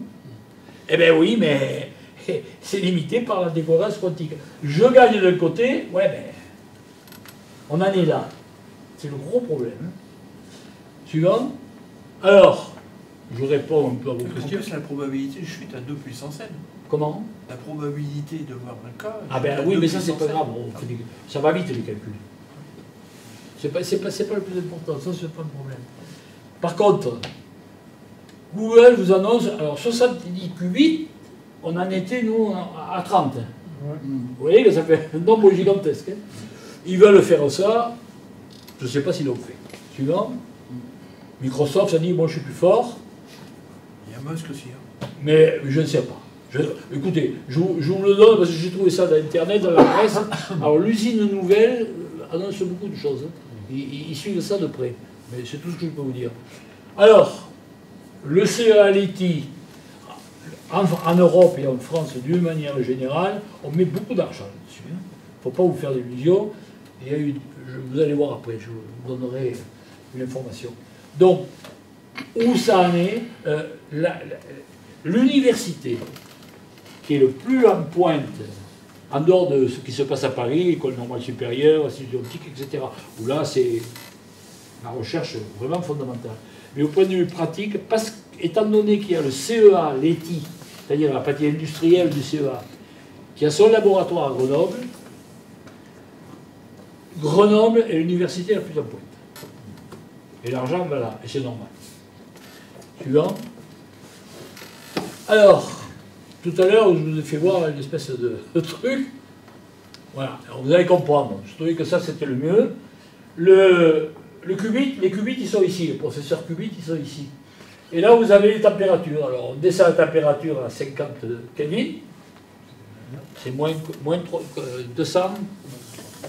Le zéro absolu. 220, 270. Voilà, 213, je crois. On s'en fout. Allez, c'est moins de 200 et quelques, moins de 300, allez, on va dire, par rapport à la température d'ici. Donc, vous voyez, il faut descendre nanana, 15 millikelvin. Donc, vous voyez bien, les gens qui croient qu'ils vont avoir un ordinateur sur, le, sur, sur les genoux, non, non, non. Donc voilà, vous avez un tas de problèmes. J'insiste pas là-dessus.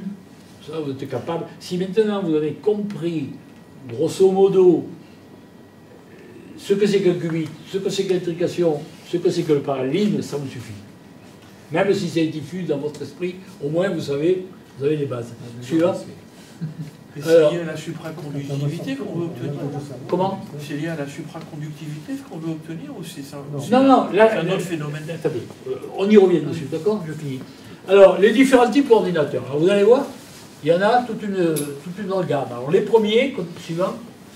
Alors, ce sont ce qu'on appelle. Alors, ce sont des, des ordinateurs classiques qui travaillent comme des ordinateurs quantiques. C'est-à-dire, on, on, on- on- on invente des qubits numériques, si vous voulez, et on, utilise les algorithmes. Donc, on fait comme si. Ça fonctionne, c'est lent. Parce que vous ne pouvez pas faire du parallèle. C'est lent. Euh, suivant. Ceci dit, il y a Atos en France qui a vendu son matériel au Japon. C'est quand même utile et il y a beaucoup de boîtes qui, ont besoin. C'est un mieux par rapport à ce qui existe. Moi, c'est tout ce que je peux vous dire. Je ne m'y suis pas non plus euh, penché trop dedans. Donc, ensuite, vous avez ce qu'on appelle les ordinateurs quantiques analogiques. Alors là, D-Web continue. Voilà. Alors D-Web, vous vous rappelez, je vous ai fait voir tout à l'heure. Alors D-Web, lui, en gros, si j'ai bien compris, euh, c'est pas un vrai calculateur quantique. hein. C'est-à-dire, vous avez une solution. Et vous partez, vous ne connaissez pas la valeur. Vous partez, vous avez le courbe, vous trouvez la valeur de, sur le point de la courbe. Vous partez d'un point voisin, que vous connaissez à peu près, et pas à pas, vous vous approchez de la solution. D'accord? Donc, ça fonctionne un peu comme ça. Pour faire je suis grossier là, hein, je le sais, mais c'est pas. Ceci dit, c'est déjà pas mal. Alors, euh, D-Web, il a annoncé, il vend aussi. hein. Alors, c'est la NASA qui est derrière, le client, c'est la NASA, avant tout. hein. Suivant. Alors, les simulateurs quantiques, ils simulent des, ils simulent des problèmes de physique quantique. Je ne peux pas vous le dire plus, je ne suis pas rentré dans les détails. En France, vous avez Pasquale, suivant. Alors, Pasquale, c'est une, je crois qu'ils sont sur la région parisienne, et ils sont chargés de. Ils ne sont pas les seuls, hein, travailler sur l'ordinateur quantique. Alors eux, ils utilisent ce qu'on appelle les atomes froids. Je connais mal. Je, ne sais pas tout, heureusement. Alors là, voilà. Quand on vous parle d'ordinateur quantique dans le grand public, c'est cela. Ce sont des ordinateurs qui, qui utilisent des portes quantiques pour tout faire. OK? Alors, c'est ce qui intéresse le plus, évidemment, les labos et les gouvernants et les entreprises.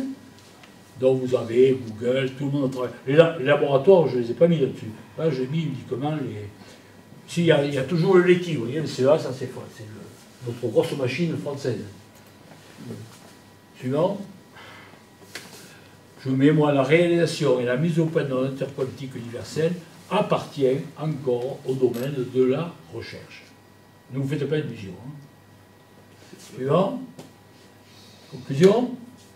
Alors, Serge Haroche, prix Nobel, je vous l'ai déjà dit à certains, de physique, ancien professeur au Collège de France, c'est le père des qubits supraconducteurs. conducteurs. Alors, les qubits supraconducteurs euh, sont basés sur ce qu'on appelle les squids. Les squids, ce sont les capteurs qui sont utilisés en imagerie quand on vous fait un IRM. Et en fait, ces- petits capteurs, ils captent la position du spin, haut et bas.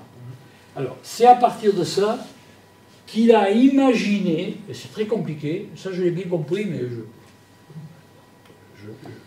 c'est impossible de vous l'expliquer. euh. Disons que à partir de ça, il développe un type de qubit possible, c'est encore de la recherche, mais qui aurait des propriétés intéressantes, qui intéressent pas mal de, pas mal d'applications. C'est tout. C'est pour ça que je ne parle pas. Donc, euh, alors Serge, euh, donc, euh, Serge Haroche, qu'est-ce qu'il nous dit? J'ai écouté de ses conférences. Il nous dit en gros, écoutez, vous êtes bien gentils, on travaille là-dessus, il faut avancer, mais l'idéal, ça serait de trouver l'équivalent du transistor pour l'électronique du soulier. On ne l'a pas. Ça ne veut pas dire qu'on ne l'aura pas. J'ai trouvé que c'était pas mal. Alors, vous voyez que ce que je vous ai raconté, c'est que la mise en évidence du phénomène d'intrication par euh, Alain Aspect, notre nouveau prix Nobel, est à l'origine de ce- tous ces développements. Et ça, je pense qu'on a le droit d'en être fier. Personnellement, je trouve qu'au lieu de parler de la mort de Johnny Hallyday, on ferait mieux de parler de, de ça, me semble. C'est personnel. Suivant. Alors, au point de vue philosophique, eh, évidemment, je trouve que c'est pas mal ça. Il se téléphone et il dit Est-ce que tu es vraiment là quoi? C'est- Est-ce que tu que l'intrication On ne sait plus où on est là. Donc je trouve ça c'était pas mal. Alors, disons que l'intrication, c'est, je viens de vous essayer de vous le faire comprendre, c'est à la base ce des techniques de cryptographie quantique, de des et des ordinateurs quantiques. Suivant. Et puis, au lieu de dire ordinateur, on ferait mieux de dire calculateur. Parce qu'il n'y aura pas un ordinateur universel pour moult raisons. Peut-être un jour, mais ni vous ni moi on sera là. Pour l'instant, s'il faut être raisonnable, peut-être on aura des calculateurs qui seront associés à des, à des ordinateurs. Voilà ce que je voulais dire. Merci. Alors, suivant, je voudrais quand même vous faire. Ah, oui. Ne croyez pas que je vous raconte des choses qui sont abstraites. Regardez. 17 octobre 22, dans l'usine nouvelle, je crois, un truc comme ça, un nouveau programme européen a été lancé. Je crois qu'il y a 10 milliards d'euros là-dedans. Dites-vous bien que les Chinois et les Américains font la même chose. hein. Suivant. La France, Alenia Space, a pour objectif de commercialiser en 2035 un réseau Internet. vous voyez que c'est pas, c'est pas euh, de l'utopie.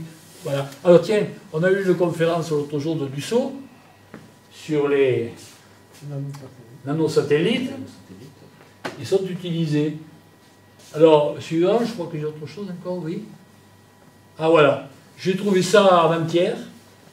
C'est récent, hein Ah, avant. Euh, C'est parti Ah oui, alors, j'ai dû faire. Ouais, alors, euh, disons qu'il faisait le bilan des brevets qui ont été donnés. Avait l'argent qu'ils ont disparu. Je suis pour rien, c'est une transition. Ouais, ouais, c'est- Je pour rien. Non, mais en gros, en gros, en février, il faisait le bilan Deux états simultanés. Voilà, de ce qui s'est, de, de- des, des startups, tout ce qui s'est développé, c'est actif. Tout ça pour vous dire que quand même l'argent n'est pas gaspillé. Alors ici, je, me permets de vous rappeler, j'ai connu ce monsieur, avec qui j'ai le, j'étais tout jeune, je disais à Claude, j'étais tout jeune assistant, prix Nobel, mais très gentil d'ailleurs, Raphaël à partir duquel tout est parti. C'est lui qui a formé Cohen Tanucci, Serge Haroche, Alain Gaspé, c'est la même, même labo. C'est donc, moi je trouve. Alors, euh, pour ceux d'entre vous qui veulent avoir un peu plus d'informations, vous allez sur Internet, chaque, chaque année, Olivier Esrati, j'ai dû mettre son nom quelque part. Euh, vous faites, euh, ça, ça suffit en général. Il pond un gros bouquin où il est, c'est un, c'est un ingénieur de, de, c'est un ingénieur de, de, de, de, de- de- merde, ça me revient pas excusez-moi, ça va me revenir. Euh, le gars, il fait un très très bon travail. Alors, il, le dit, hein, je comprends pas tout. Et d'ailleurs, pour ça que je, il m'a permis de. Tiens, il ne comprend pas, j'ai essayé de comprendre. Bon. Euh, donc, il, par contre, il essaie de, de- faire une synthèse depuis les labos qui travaillent, les boîtes qui se disent mais qu'est-ce que c'est que euh, qu'est-ce que c'est qu'une porte quantique, etc. Vous voyez, il, fait un très gros travail. Si ça vous intéresse, je vous conseille de le.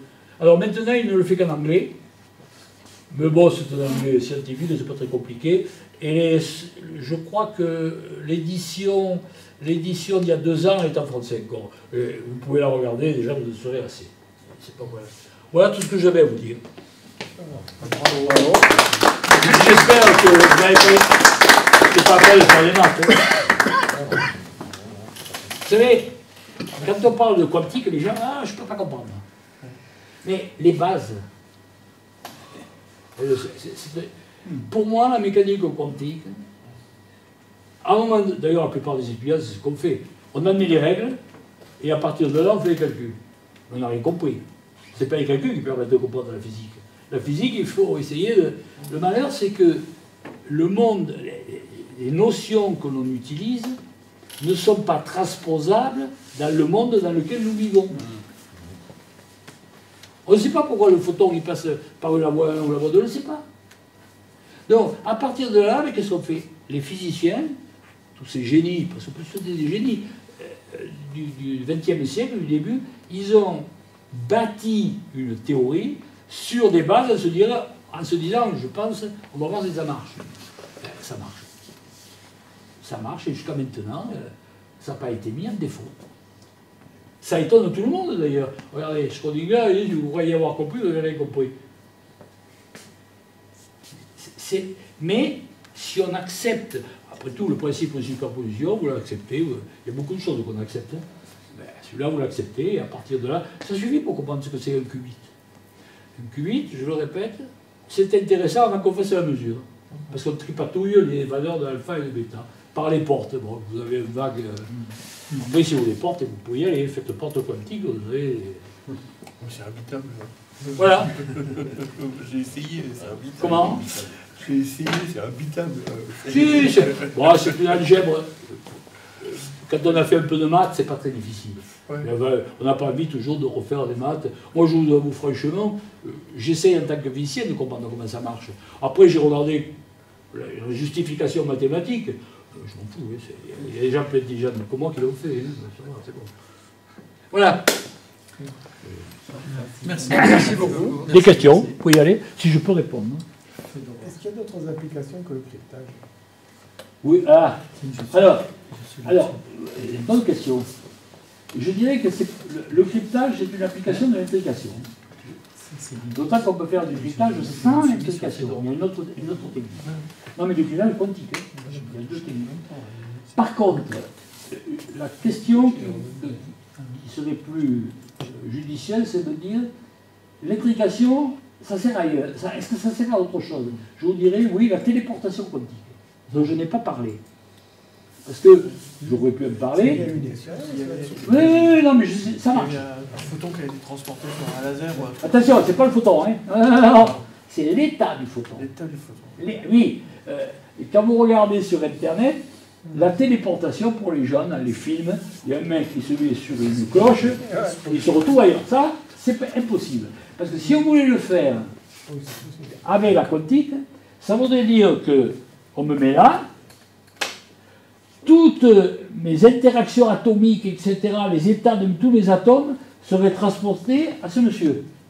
Oui, mais moi, j'existerais plus là. Et j'aurais plus, je serais vidé. Mais... Alors lui, il deviendrait moi. Les états. Donc, vous voyez, donc la téléportation, il faut savoir de quoi on parle. Par contre, effectivement, ils sont arrivés à téléporter à un état, et je vais vous dire, ça m'a intéressé, j'ai pas tout compris. Et je me suis rendu compte que. Non, parce que les gens, même les physiciens dans les cours, ils sautent des étapes. Alors, souvent, quand on fait des expériences, Claude, des fois, on ne comprend pas tout. C'est quand ça marche, puis on se gratte à la tête. Je pense qu'elle marche, l'intrication, mais que même les meilleurs physiciens n'ont pas répondu à toutes les. Ça marche. Mais il y a des détails, moi, qui me. Mais c'est l'intrication qui est à la base. En fait, Claude et moi, on se partage tous les deux deux photons intriqués. Mais moi, je prends un troisième photon que vous m'envoyez, vous. Je les mélange. Et à partir du moment où je les mélange, l'état du photon de Claude change. C'est ça la téléportation. Moi, par contre, quand je les mélange, je ne sais pas comment ils étaient, parce que je fais une mesure. C'est foutu. Une fois que la mesure est finie, je ne connais plus les états. Mais Claude, lui, il récupère l'état. Par contre, comme tu vas avoir quatre, tu ne vas pas le récupérer exactement. Tu as une chance sur quatre d'un des quatre états. Tu vas être obligé de me téléphoner. Voilà, on retrouve toujours les mêmes trucs. Donc ça marche, mais c'est le futur, ça serait la base du futur Internet. Et oui, c'est la base. Donc la téléportation, c'est une sophistication de ce que je vous ai raconté. Alors, il y aurait, en fait, il y aurait les ordinateurs quantiques, la cryptographie, tout ce que vous voulez, ça y serait. Et c'est pour ça qu'on met beaucoup d'argent là-dessus. En fait, on le met parce que c'est l'armée qui va récupérer ça. Eh bien, évidemment. c'est pas pour vous ou pour moi, hein, ça n'a aucun intérêt. Mais il y a Euh, beaucoup d'argent. Moi, je suis étonné de l'argent qui est mis là-dedans. Juste, je voudrais revenir sur le tout début. Oui Votre cube de le biface, là, Oui, c'est un oui, La le lumière- la biprisme, biprisme. La lumière non, pol- euh, non polarisé. non polarisée, donc euh, diffuse. Elle Non, non, elle n'est pas diffuse. c'est- c'est- non polarisée. Oui, non polarisé. Elle sort d'un côté en Oui. horizontal, de l'autre côté en vertical. Oui, oui, oui. Mais ça veut dire qu'une une- une onde qui est à 45 degrés, Oui, elle a une probabilité de sortir en horizontal ou en vertical. Elle est donc changée de position. oui mais c'est vrai que quand vous avez, quand vous avez, un- quand c'est la lumière naturelle, vous avez un grand nombre de photons. Mais on change son, son orientation. Ah oui. Elle rentre à Non. 45 et elle sort où? Non, vous savez pas avant comment elle était. Ah, Vous dites statistiquement. Ah oui, oui, oui, d'accord. Oui, alors, oui, mais comme je. Alors Il n'y a rien qui oui, sort mais- c'est juste ce que vous dites. Sauf que quand j'envoie polarisé, c'est un milliard de photons, un, mi- un milliard de milliards de photons qui sont tous polarisés comme ça. Et je ne fais, je ne fais surtout sur l'ensemble. Oui, C'est pas sur un seul. oui. Donc si on est à 30 degrés, il y en a 25% qui par oui, oui, là c'est 75 sûr. par Là c'est sûr. Sur le grand nombre, c'est vrai. Mais sur la sortie 1, ils sont tous en horizon, à horizon et Oui. sur la sortie 2, tous Oui, à oui, vertical. oui, oui. Il y a donc un changement de plan de l'orientation. Alors oui, en fait, c'est du fait, je vais vous dire pourquoi, c'est du fait que les indices de réfraction, pour chacune des directions, sont différents. Alors il se trouve que c'est- assez joli, c'est assez compliqué, mais ça s'explique. Ça on l'explique très bien. Euh, c'est une physique classique. Donc effectivement, euh, c'est le fait que suivant la polarisation, le pro- la, la vitesse de propagation de la lumière dans le cristal n'est pas la même. Son origine est là. Comme la diffraction. Ça, c'était à Montpellier, ceux qui ont. C'était Bouet qui a enseigné ça, il était un spécialiste de ça. Tu pas connu, toi C'est très bon. bon. Pourquoi tous ces phénomènes doivent-ils se passer à des températures euh, très Oui, basses. Ah, oui. Eh bien, oui, oui. euh, ben, les, alors, euh, on peut, dans certains cas, obtenir ces phénomènes à la température normale. D'accord? Alors, je peux vous répondre. Alors, pour les supraconducteurs, c'est parce qu'en fait, il faut faire des agglomérations de- de- d'ensemble d'électrons. C'est sur les spins que tu joues. Hein? Ouais, de- et c'est sur cette agglomération que l'on travaille. Et pour l'avoir, il faut travailler à très basse température. C'est pas très clair. Je On sait faire des pas- supraconducteurs à température chaude, enfin, euh, entre guillemets chaud, mais Enfin, euh, ça reste. Il y en a presque pas. à moins, moins, moins 100. Oui, mais là, là les- le type de, de supraconducteur qu'ils utilisent, il faut être plus bas. Ça dépend un peu des subtypes. Sur... Euh, c'est pas évident à vous expliquer parce que c'est entre la mécanique quantique et la mécanique classique. Là, le fer à roche, il est bon. hein. C'est pour éviter les interactions avec le milieu extérieur. Comment? C'est pour éviter les interactions avec le milieu extérieur. non? Non, euh, la supraconductivité par nature, elle euh, ne se manifeste, je dirais, pour- Non, quand il n'y a pas de frottement. De l'utilité de, travailler aussi bas. Eh bien, parce que sinon, vous ne la voyez pas. Il n'y a, pas- il y a, il y a pas effet de... Je cherche le mot, euh, il y a un mot pour... pour que les électrons ne- se- euh, puissent s'agglutiner, ce qu'ils ne savent pas faire, il faut que ce soit à très basse température. Je cherche le mot, mais je ne trouve pas. Condensation. Ouais, non, il y a un autre mot. C'est le ralentissement de l'agitation euh, électronique. Ah ben oui, un peu de- ça, ça, mais ça n'intervient pas, c'est pas pour ça. C'est là pour, si vous voulez, les électrons obéissent au principe de Pauli. C'est-à-dire, eh ben, le principe de Pauli, c'est que deux- vous ne pouvez pas trouver deux, deux électrons dans le même état. C'est la règle. Mais ce sont des, fermions, pas des bosons. C'est-à-dire les bosons, vous pouvez mettre en groupe. Et pour qu'ils perdent cette, pour qu'ils perdent leur, cette propriété bizarre de, de- ne pouvoir être, pour pas mettre à côté deux euh, électrons dans le même état. C'est pas possible. C'est à base de la, physique euh, euh, atomique, disons. Mais par contre, à très basse température, ils perdent cette propriété. Ils peuvent s'agglutiner. Et c'est à ce moment-là, Qu'on peut les mesurer. que- surtout qu'ils peuvent Se déplacer. ils peuvent se déplacer sans déplacer l'énergie. Ça, ça, ça, ça- ça crée de la chaleur, si vous voulez. Alors maintenant, dans le cas des électrons, je vous avoue, je n'ai pas la réponse tout de suite, mais il faut travailler à basse température, je ne me souviens plus pourquoi. Tu vois, euh, mais C'est- euh, pas une limite rédhibitoire, ça, de devoir euh, travailler à ça. Parce qu'il faut dépenser j'ai pas la réponse une quantité d'énergie considérable pour Mais mettre alors, j'ai lu, j'ai lu que les serveurs actu- actuels, qui sont aux États-Unis, etc., bouffent une énergie de Ah oui, pas ça, clair. Ça, vous le savez. et qui s'avère qu'en dépit de ce que coûterait le refroidissement, ça serait en énergie moins onéreux. Que les supercalculateurs. Voilà, c'est la réponse que j'ai lue. Mais attends, euh, ne venez pas me dire si un jour vous me rencontrez que vous ayez. Ah non, non, mais- Je répète. Non, mais ça peut. Ah, C'est pas. C'est pas. euh, Intuitivement, c'est c'est compliqué Vous savez, mais. euh, Quand on voit l'intérêt à quelque chose, quoi qu'il coûte, on essaie de le faire. Bien sûr. On est d'accord En tout cas, il y a aussi ce que vous avez dit tout à l'heure. euh, L'ordinateur quantique fait des statistiques, donc il fait un grand nombre de mesures. Donc logiquement, ça ne devrait pas aller très vite. En fait, euh, non, parce que ça va très vite les mesures. Euh, Donc, il y a des choses qui sont. qui pas- on peut penser que c'est rédhibitoire, en fait, ça l'est pas. C'est pas un problème. Par rapport à ce que l'on a déjà, je dirais. Sauf que ça risque de limiter au domaine des mainframes plutôt que des portes. des Il y a-. De toute façon, vous connaissez le système qui est parfait? Non, non, bien sûr.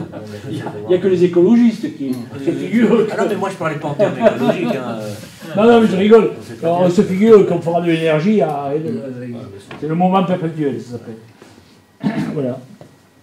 Eh bien, écoutez, si je vous ai un peu appris quelque chose. C'était très intéressant. Hein Très intéressant. Merci beaucoup. On va voir, c'est tout. Oh, celui-là, alors.